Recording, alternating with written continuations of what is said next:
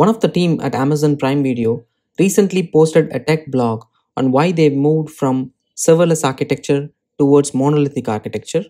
In this particular video, we are going to discuss this case study and understand why Amazon moved from microservices based serverless architecture towards a monolithic based architecture. And we are going to break down and look at how did they achieved it and what helped them save so much cost. Let's get started.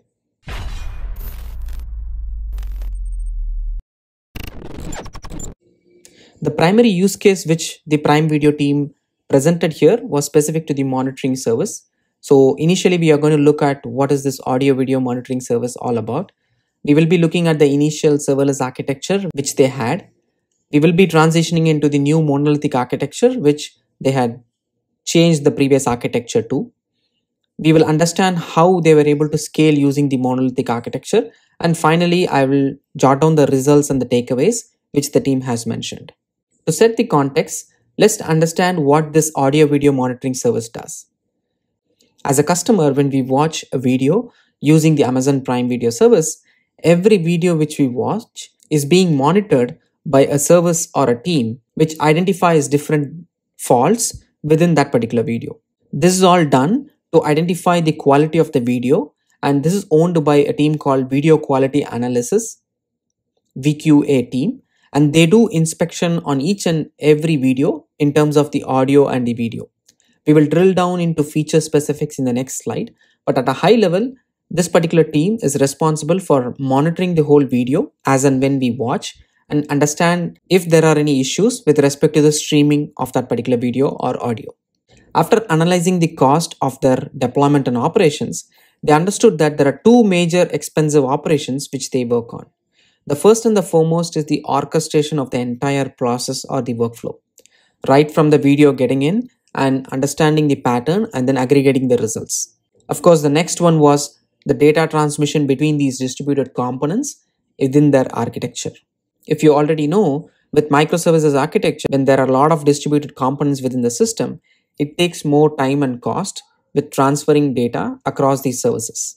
So that was another major expensive operation which the team was going through. So this is how their initial architecture looked like.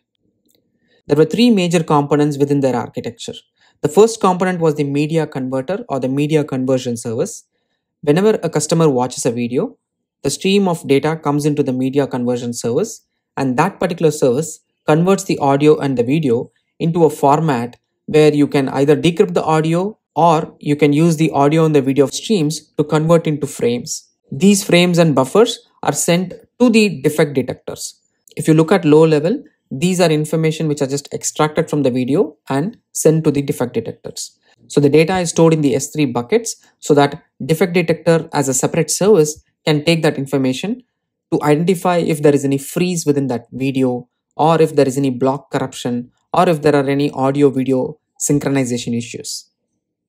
These are different defect detector mechanisms using which the video is analyzed so that the team can understand if the video has been streamed properly to the customer or not. Once there is a defect which is detected, there is a notification which is sent real time into the SNS queue and the customer or the consumer can identify that, okay, there is a data defect and we can fix that.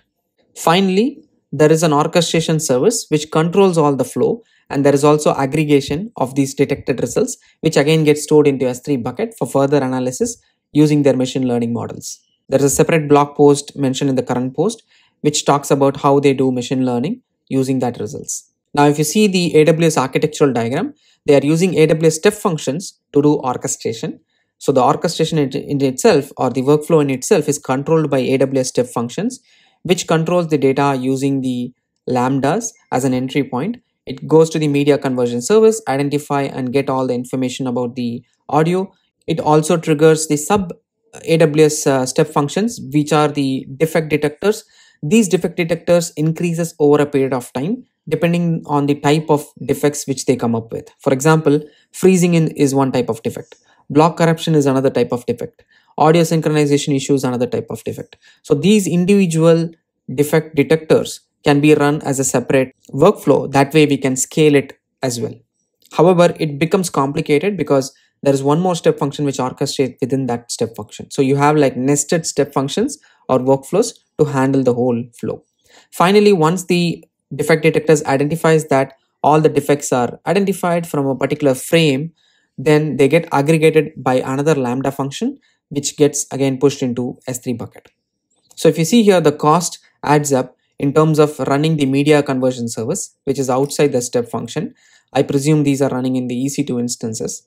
Again, there is AWS Lambda function, which acts as an entry point for the customer so that it coordinates the media conversion service with the triggers for the defect detectors. Again, within defect detectors, there are some compute functions which are useful for processing the video and finding defects.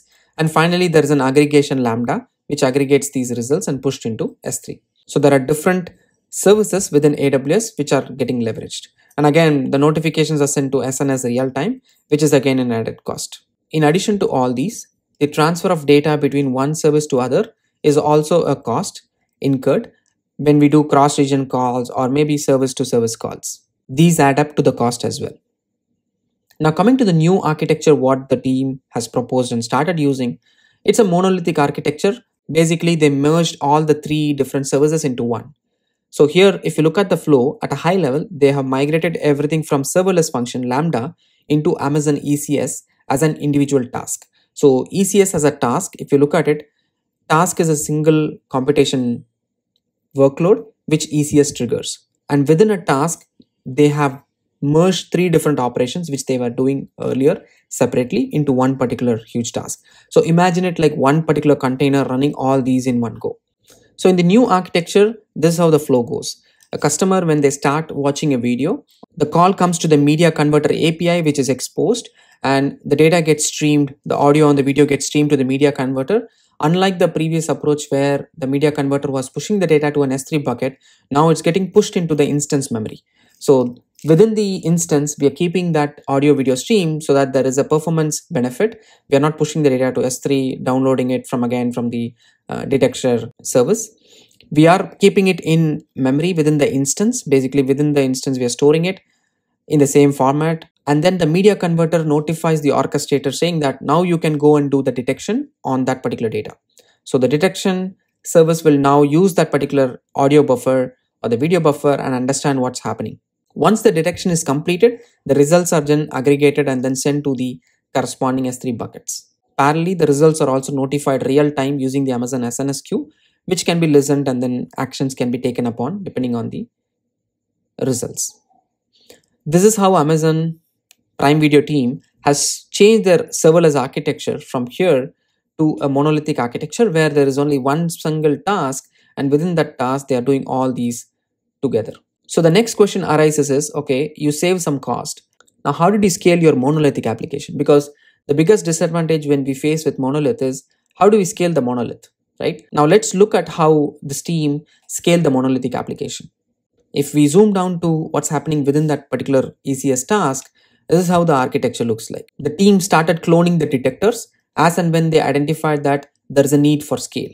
So there is not just one process which is running. Instead, they're running multiple processes or multiple copies of these same processes as a separate cluster. So if let's say there are few detectors which are lightweight, they've just combined them together and then run it in one particular cluster. And as and when the detectors increases, they can easily add a new cluster and the orchestrator service redirects the request to that new cluster as well. So what's happening here is whenever there is a new audio stream coming in, the audio stream request goes to both the clusters and the same data is getting duplicated in both the processes. So they added a lightweight orchestration layer to distribute the customer request. However, the data gets duplicated. Of course, there are benefits in terms of doing that. There is duplication of data of the audio and the video both in this cluster and also in this cluster but this allows the team to scale at a much faster pace than what they were able to do before, along with keeping the costs low.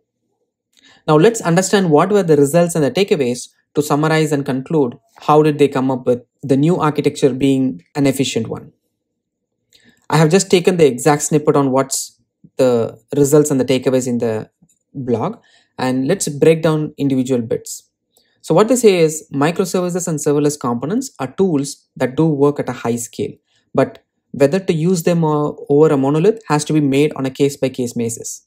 This is where system design and understanding the component is very much important and looking at individual architectures on a case by case basis makes us understand why we choose a particular tech stack over another.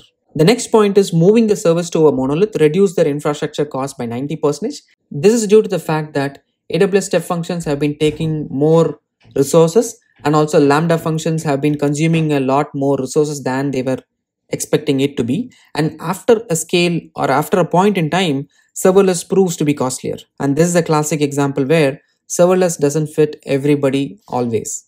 By moving to the solution of ec2 with ecs and leveraging the aws compute saving cost they were able to drive this cost down compared to what they were spending on lambdas and step functions. One significant mention here is the usage of data getting deduplicated in multiple detectors, which is the media conversion service. Instead of that, they could have created a cache and used that cache across these two instances. That's one improvement which they can think of doing. They can have a single block volume mounted across these two instances, write the data in one of them, one of the servers write the data into the block volume, the other can just read from there.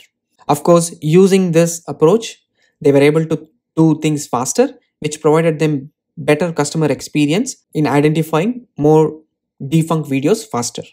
I hope you were able to understand why Amazon Prime Video moved from microservices based architecture to monolithic based architecture. So, whenever you are designing a system, understand the pros and cons and take decisions wisely so that you create an efficient system on the cloud.